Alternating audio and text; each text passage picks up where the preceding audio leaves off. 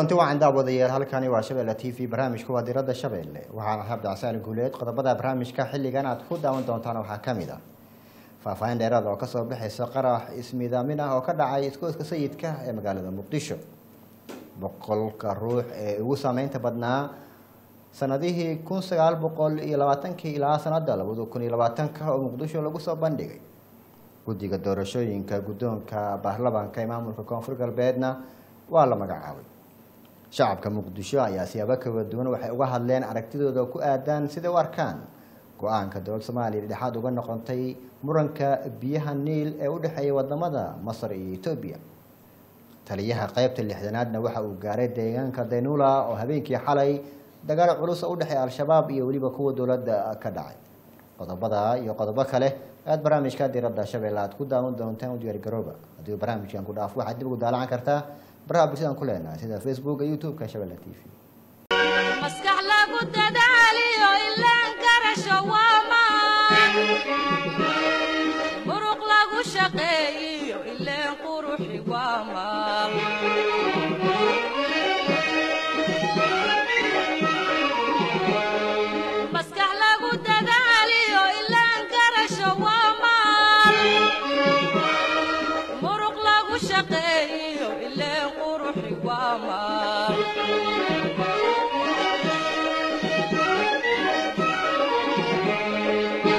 waa hagaagkan daawadayaal aan ku bilaabay barnaamijka diradda shabeelle. Sida wararkeena iyo barnaamijyada aad ku daawaneyseenba qarax ismidaamin ah ayaa waxa uu ka dhacay isgoyska sayidka ee magaalada muqdisho.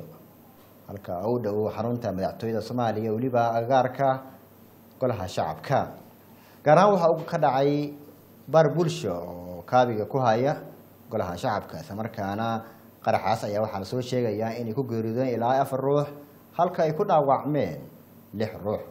Waxaana sheegay in mid ka mid ah waa dadka geeriyooday askari ka tirsan ciidanka dowladda soomaaliya. Ruuxa ismidaamiyey ayaa la arkayay isagoo halkaasi qaar ka mid a hilbihiisii halkaasi yaaleen. Haddaba qaar ka mid ah dadkii goobjoog ahaa ayaan la kulanay islamarkaana weydiinay waxyaabaha ay arkeen iyo weliba faahfaahinta inay naga siiyaan. Waayeela islaantii uu qabay igaar ee dhashay oo yariisa isla markii aan isbitaalka ula cararnayna igaarkii nafti way ka baxday. Isbitaalka daqiiqada ka bacdii haddana hooyadii yaa nafti ka baxday. Intaasoo mucjiso la yaaba maanta la kulma inta aragtida. Hal qoys oo waxaan ka arkay saddex oo hal qoys keliya. Oday igaarkiisa islaantii uu qabay. Saddex. Inta kale wallaahi ma sii aqoonsan karo wax badanay ahaayeen wallaahi ilaa iyo indheygu waxay qabteen adiga lix intii macnaha xaqiiqda aan dhihi karo.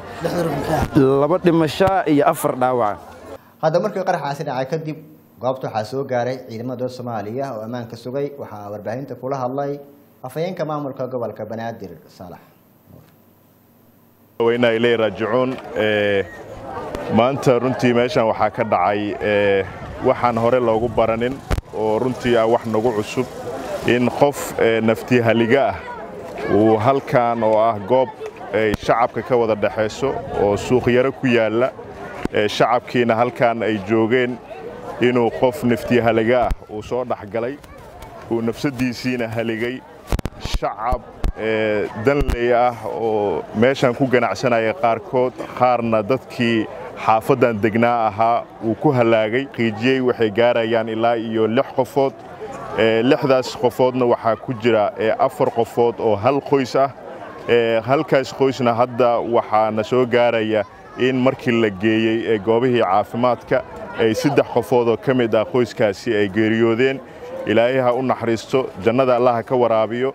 Runtii tani waxay muujinaysaa in kooxaha argagixisada ah ee diiddan ee amniga dowladnimada iyo nolosha diiddan in markii ciidamada ammaanka qaybahooda kala gedisan ay ku guulaysteen ee sugidda amniga magaalada ay u suurtageli weysay in waxyaabihii hore u isticmaali jireen oo ahaa inay gawaari isticmaalaan oo gawaari isku miidaamiyaan ay markaa taatikadii beddeleen ee adeegsanayaan hadda in si shakhsi shakhsi ah ay magaalada u soo galaan oo ay dadkii ay markaa ay dhibaateeyaan ay isqarxiyaan. Marka waxaannu leennahay taatikadiina waynu la soconnaa bulshada soomaaliyeedna waxaynu kula dardaarmaynaa inay feejignaane muujiyaan. Waannu u jeednaa inay beddeleen taatikadii iyo waxyaabihii hore u isticmaali jireen taxadirka ha la muujiyo laamaha ammaankana. Runtii way ka warhaayaan qaabkay taatikadooda u beddeleen.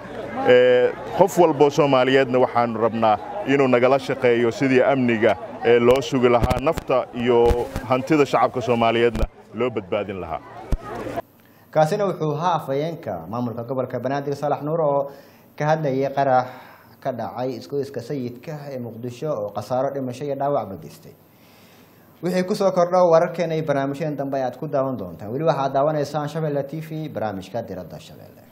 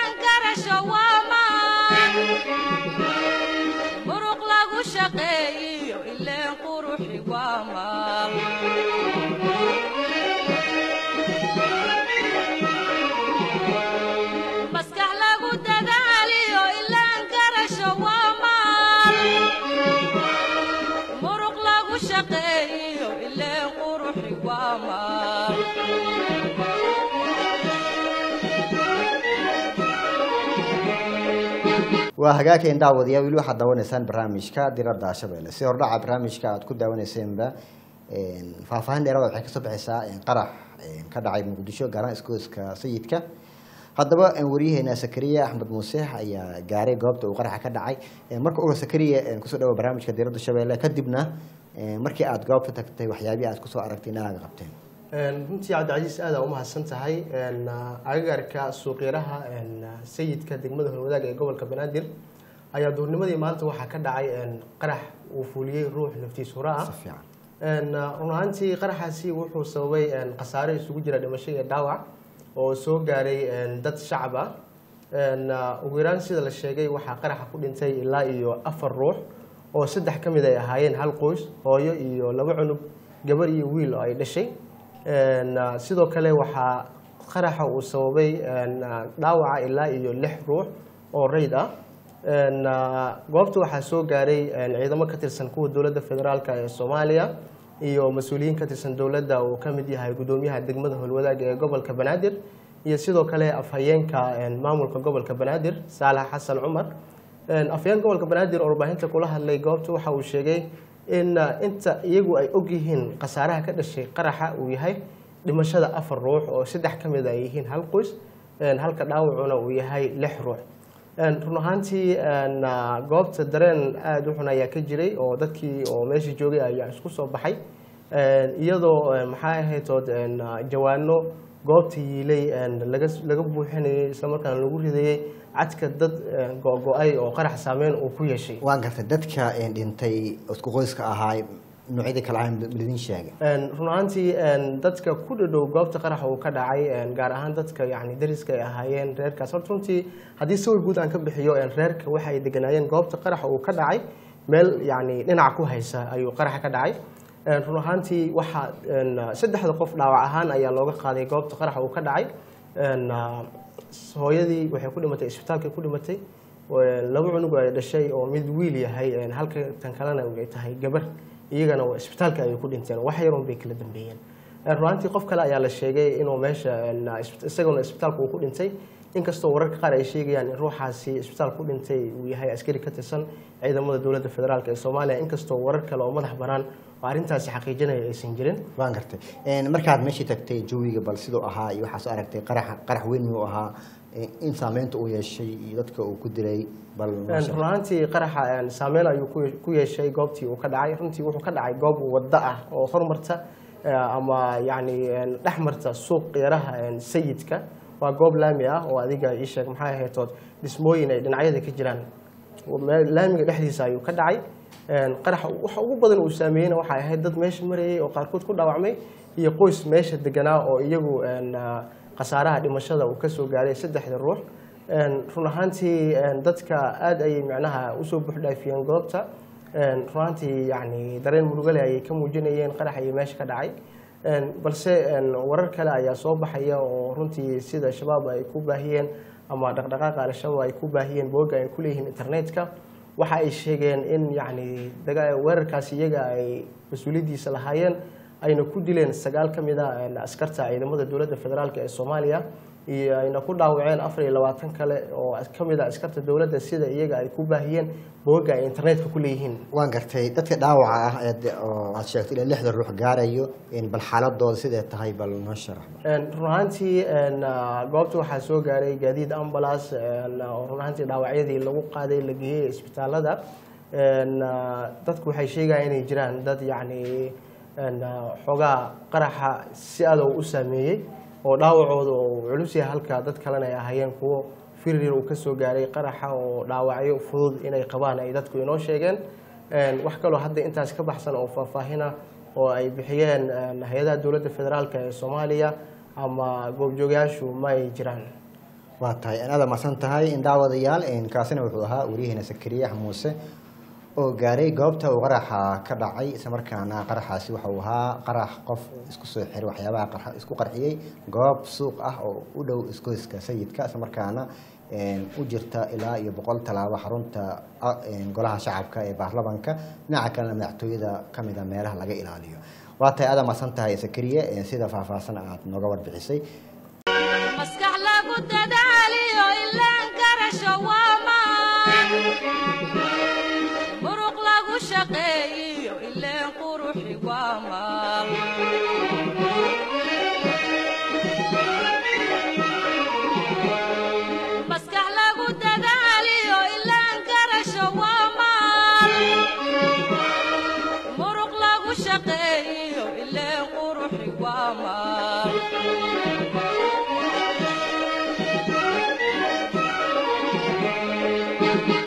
maanta munaasabad muqdisho ka dhacday ayaa waxaa lagu soo bandhigay boqolka ruux ama qofood ee ugu saameynta badnaa soomaaliya. Haddii laga soo bilaabo sannadkii kun sagaal boqol iyo labaatankii ilaa sanadan hadda ku jirno labada kun iyo labaatanka munaasabadan ayaa waxaa la soo bandhigaya shakhsiyaadka ugu qiimaha badnaa ee bulshada wax u taray waxaana qayb ka ahaa madaxweyneyaa xilal ka soo qabtay siyaasiyiin ganacsato qaybaha kala duwan ee bulshada.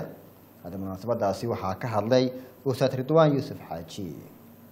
Ah, Bismi illahi raxmaan raxiim ah, maanta oo ay tahay taariikhda shan iyo labaatanka maarso labada kun iyo labaatanka maalinimo arbaca soomaali magazin waxaan markii ugu horreyna aan soo saarnay liiskii boqolkii qof ee ugu saameynta badnaa boqolkii sane la soo dhaafay saameynta marka annagoo ka fiirinayno dhinacyo kala duwan oo aan ka fiirinayno ee, dhanka positiveka ama saameynta dhanka wanaagsana.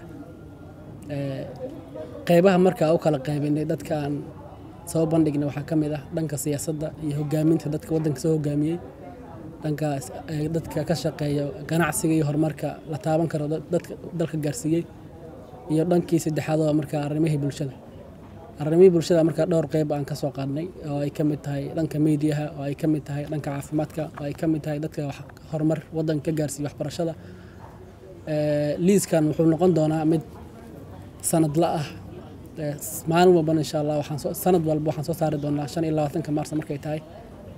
Ee, dadka liiska ku jiro waxaa ka mid ah madax qaar ka mid ah madaxda waddanka soo martay waxaa ka mid ah qaar ka mid ah arrimaha bulshada ka soo shaqeeyey waxaa ka mid ah dadkii sababay waxbarashadii maanta soomaaliya meeshay gaarsiisan tahay burburkii kadib in la sameeyo dallaado la sameeyo in arday ay ka qalin jiibiyaan ilaa iyo heer jaamacad waddanka looga baxo. Muhiimadda markaa soomaaliya magazine waxay tahay in la abaal mariyo islamarkaana loo mahad celiyo qof walba oo saameyn wanaagsan dalkan ku leh. Ee, cilmi baarista marka ee, waxaan wadnay ururinta dadkan annagoo markaa kaashanayno khubaro siyaasiyiin annagoo kaashanayno khubaro dadka ganacsi annagoo kaashanayno khubaro suxufi annagoo marka kaashanayno dhowrka qodob wax dad ka soo qaadanay. Ee, Somali magazine waxaa aasaasay dhalinyaro aqoon-yahano ah oo ay isugu jiraan dadka dalka wax ku bartay iyo dalka dibadda wax ku bartay. Marka insha allah aad aa umahadsantihiin asalaamu calaykum waraxmatullahi wabarakaatu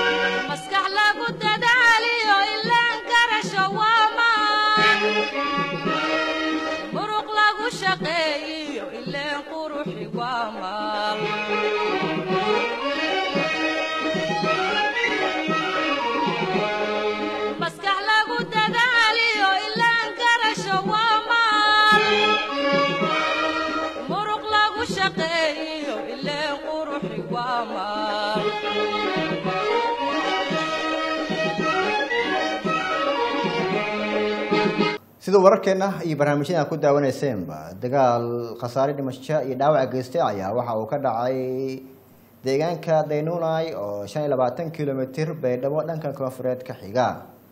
Haddaba dagaalkaasi markii uu dhacay kadib waxaa gaaray taliyaha qeybta lixdanaad ee ciidanka xoogga dalka soomaaliyeed waxa uuna halkaasi kula hadlay shacabka iyo weliba ciidanka dowladda soomaaliya ee ku sugan deegaanka daynula hadda waxaan joognaa aagga difaaca ciidankeena ugu jiro ee doynunay taas oo aan ugu nimid gurmad oo degdeg ah isla markaas nimankii nabaddiidka ahaa ayaa isku dayey saaka inay soo weeraraan xerada ciidanka waxaana ka gaaray jab iyo halaag ciidankeenna wuu iska difaacay si sharaf leh leh والدنيا ده أي سكة دفاعين حتى أنا واحد خصو ناي قط أي خصو ورن لما كنا بديت كا خوارج أنا ده بدل لوج داي إلا حتى كهذا إيه نكنا أكون مكان. والوجود بجرا وعن رجعينا يا. إن يكون نول نول سوق بنتون إن شاء الله. إن إيه نك جسياش إيه قيبت الحذنات مرة بدل ما يسكت ديال إنه يخاف سدان قط إن دفاع. Weligoodna uma suurtagelin mana u suurtageli doonto?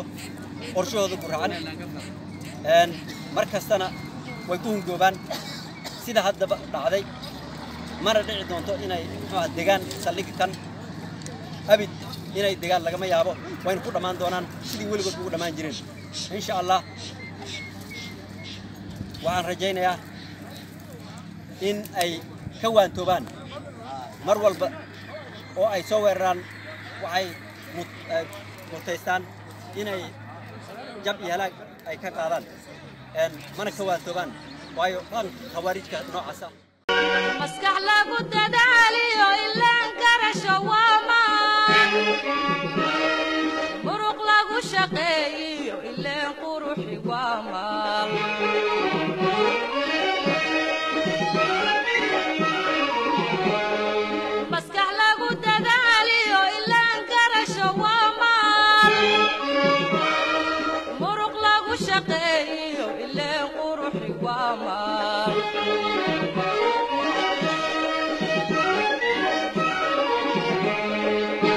weli waxaad daawanaysaan barnaamijka diiradda shabeelle qeybihiisii dhexe ayaan ku guda jirnaa. Iminka haddii aan eegno. Guddiga doorashada guddoonka baarlamaanka ee maamulkaasi koonfur galbeed oo ka kooban ilaa iyo shan iyo toban xubnood ayaa maanta lagu dhawaaqay. Hadda waxaana daawataan qaar ka mid ah xildhibaanada cusub ee maamulkaasi koonfur galbeed oo dareenkooda ka bixiyay sida u arkaan dhaanintii dhowaan la dhaariyey iyo weliba guddiga maanta lagu dhawaaqay. Marka koowaad ilaahay ang mahadnagaana marka lamaad ma ang mahadnagaane. Dowladda koonfur galbeed oo aan ka horeeye madaxweyne cabdiasiis xasan maxamed lafta gareen iyo malaaqyadii ha ku shaqeeyey baarlamaankan sharafta leh oo geedka kolunshay lamaad ka ansixiyey guddiga doorashada. May sharaf weyning ah baarlamaan dhallinyaro ah an badan aqoon-yahana oo la jaan qaado koran adduunka soomaaliya waa la qiibsada koran adduunkana khibraddii walbadan ku og. Inti baarlamaanka koonfur galbeed ha ka biiran oo nina xubin kunagana iyada aan ka faraxsangna may leerahay may inta unku hambalyayay dhammaan xildhibaanada koonfur galbeed oo baarlamaankan sharafta badan xubin kunagadi iyada aan ka hambalyaya guud ahaan mayn hambalyayana marna koonfur galbeed gaar ahaan geeka may leerahay kulankii dhii kulun iyadan qiimi badan ahay kulun may leerahay masiirka ummadda koonfur galbeed soomaaliya hadala wahay alxamdulilah meesha rafiin eh baarlamaan may la arga jiray iskhilaafayo. Dhabadan ku dhax dhiyaw laakiin geeka may may la raay koonfur galbeed. Guul wiin an eh. Baarlamaan boqolkiiba boqol go'aanka masiiriga iskarahay waa sharaf koonfur galbeed han hoyti way. May lana shacabka koonfur galbeed. Meel biyo rogan dalay dibid. Hambalyo hambalyo eedan mahadsantiin eedaasin salaamana asalaamu calaykum waraxmatullahi taala wabarakaatu awal asalaamu calaykum waraxmatullahi wabarakaatu anoo magacaaga cabdiqaadir ibraahim cabdulaahi xaaji ibrow runtii geek eedi eedan faraxsana maadaama kulankii lamaad ee baarlamaanka unu weelani. Runtii may xaadirtay siddeetan iyo sagaal xubnood oo unu ku doorani guddigii doorashooyinka oo gudoomiyaha iyo ku-xigeenadiisa xulo lahaayeen. Runtii eed eedan anka faraxsana maadaama geeka una ansixini tomishan xubnood. Tomishantaas xubnoodna may ka rajayaan shaqada una egmadin una ansixini. In iyoon haka baahan oo niishanan gudoomiye oo kala soo daacade runtii kale eed eedan ka mahadnagay madaxweyne cabdicasiis maxamed san lafti gareen oo dhalinyarada oo da'yar ee dowlad deegaanka koonfur galbeed oo jaanis usonsii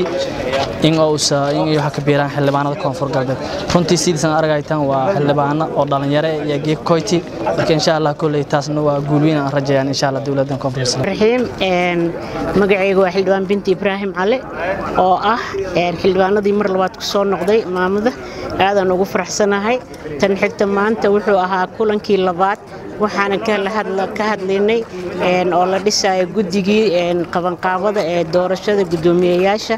Marka maanta waa la magacaabay waana la ansixiyey waana ku guulaysanay.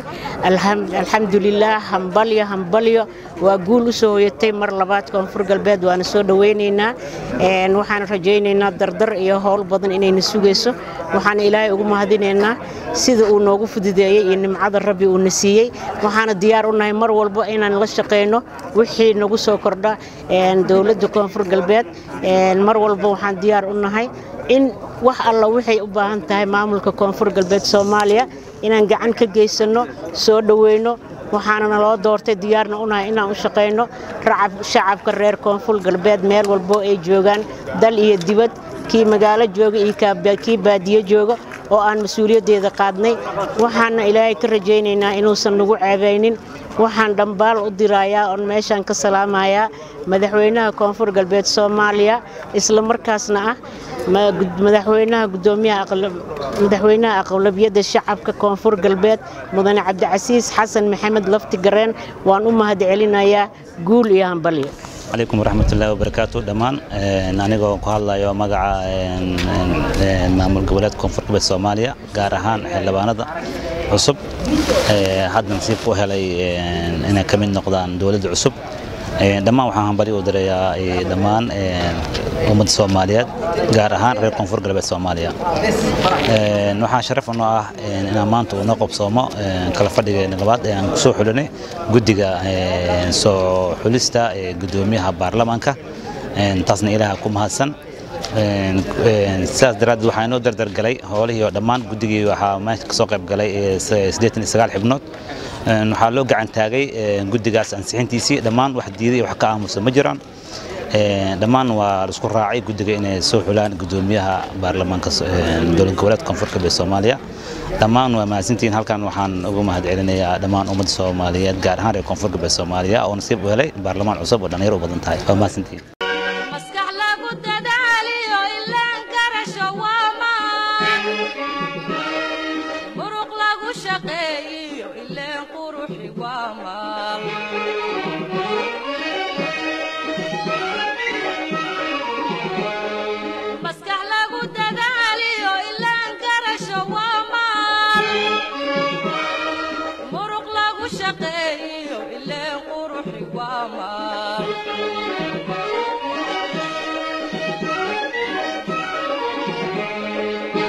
weli waxaad daawanaysaan barnaamijka diradda shabeelle qodobada kale ee ku jira barnaamijkeena waxaa ka mid a. Cudur halis ah waay ilaahay ha naga haayo?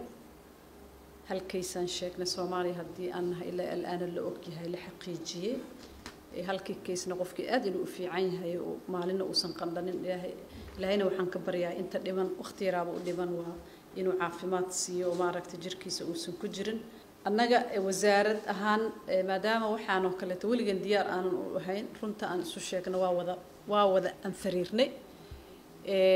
Waxaan isugu wacnay dadkii deeq bixiyayaasha wasaaradda maaliyadda waxaan ku nira wax allaala wixii aad noo qoondayn kartaan hana loo qoondeeyo qorshe buuxa oo qaran oo loo wada dhan yahay inaan baahideenna ku salayno oo aan diyaarino waqtigay qaadatay laakiin at least wax la isugu tegay oo la diyaariyay baahidii saasaan door bidnay inay muhiim aad tahay inaad noola ogaataan si hoose.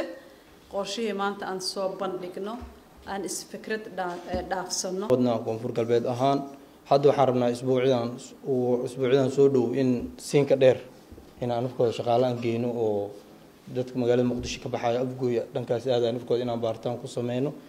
Ee, degmada marka wacyigelinaa ka bilaabnay wacyigelinaa wadnaa weli shaqadii ma bilaaban sida u dhaqsiyaha badan waa bilaabana insha allah Ee, wasaaradda marka dadaalkaasay wadaa idinkana waa mahadsantihiin.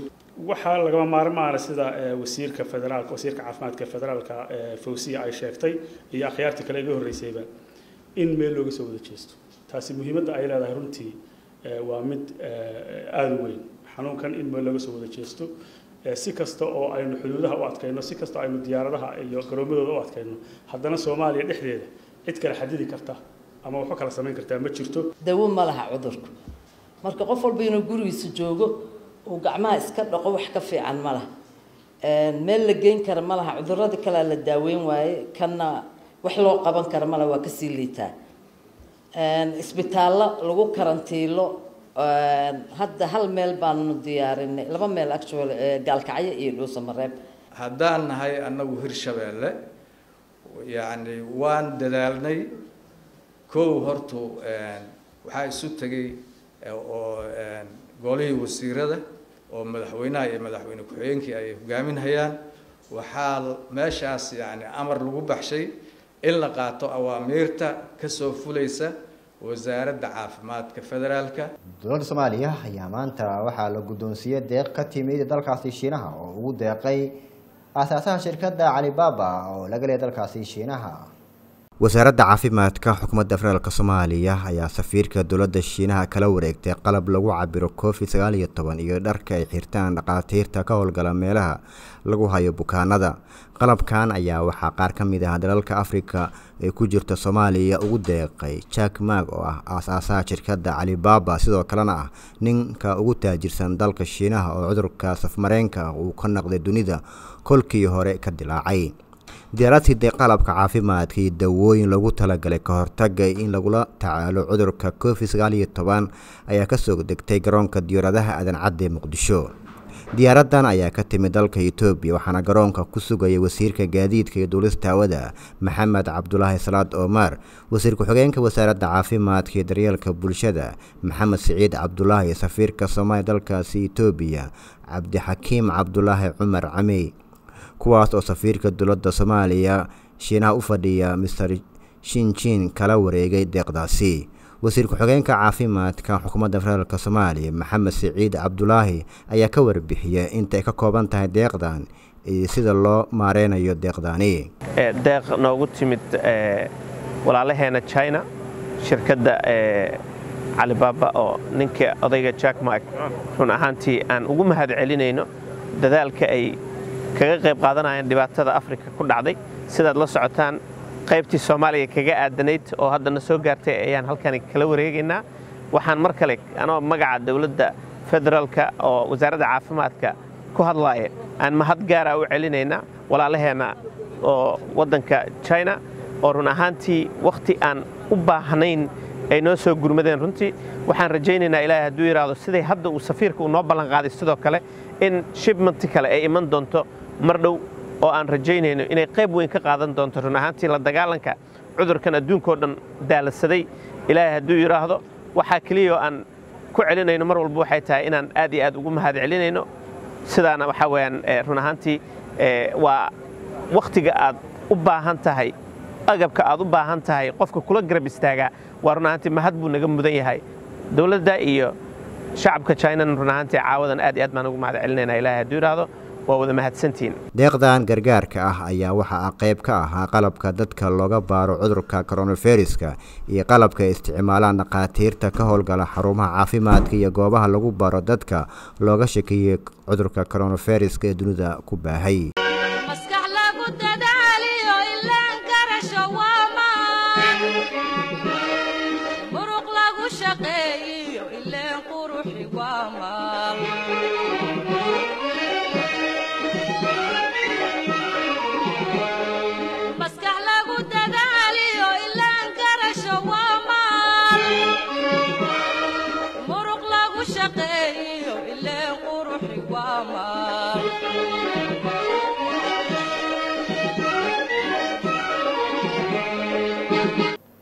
guud ahaan daawadayaal intaas ayaan jecna ku soo gabagabeeyey barnaamijka diiradda shabeelle xilligaan aa kale ka daawataa tv-ga shabeelle. Haddii barnaamijkan ku dhaafo waxaad dib ku daalacan kartaa baraha bulshadaan ku leenaha sida facebook isla shabeelle t v iyo youtube-ka isla shabeelle t v. Waan ku mahadsantihiin daawashada barnaamijka diradda shabeelle